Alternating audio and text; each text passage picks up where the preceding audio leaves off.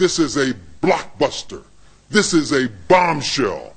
This is perhaps the biggest thing that's happened in any case in this country in this decade. We find that reprehensible. Your Honor, I'm so offended at Mr. uh, Shapiro's remarks, remarks that I'm sure that are being fed to him by Mr. Cochran. But I'm so offended by those remarks that I would rather not stand at the same podium at which he stood a few moments ago. The issue here is whether this defendant killed Nicole Brown or Ron Goldman or not. The issue here isn't my ethics. The issue here isn't racism. The issue here isn't Detective Fuhrman. And it isn't their egos and how much money they can make or how many talk shows they can appear on.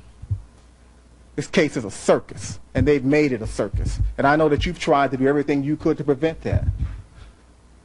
And so have we.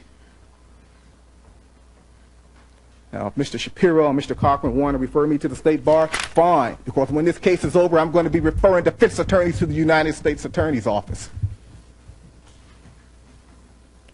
And he chuckles now. But will he be chuckling later on?